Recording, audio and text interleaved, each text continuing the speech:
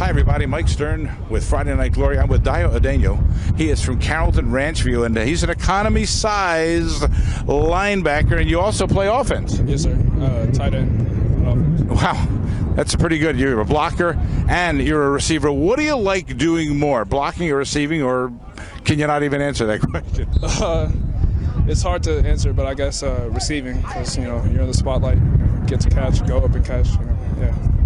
What's your favorite pass? What's your favorite route? Uh, a fade, definitely a fade. Okay.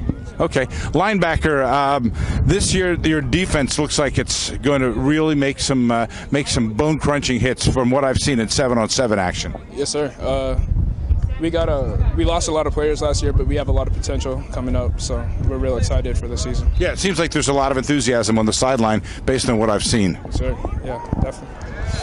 Uh, one of your teammates just talked about making a name for Carrollton Ranchview. How tough is that? Uh, yeah, we're a small school. We just uh, we're not that old, maybe like 15 or like 10 years old.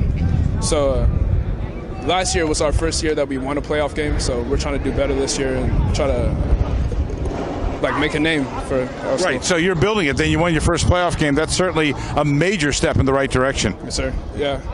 Uh, so we're have, hoping to have a better season this year.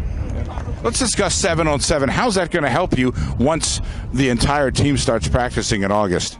Uh, we're trying to like have a bond with our team because we have a lot of new players coming in from other schools and a lot of players coming up from JV. So we're trying to uh, we're trying to make a connection with our receivers and our quarterbacks. All right. Well, thank you so much for your thoughts, and we'll see you in the fall. Thank you.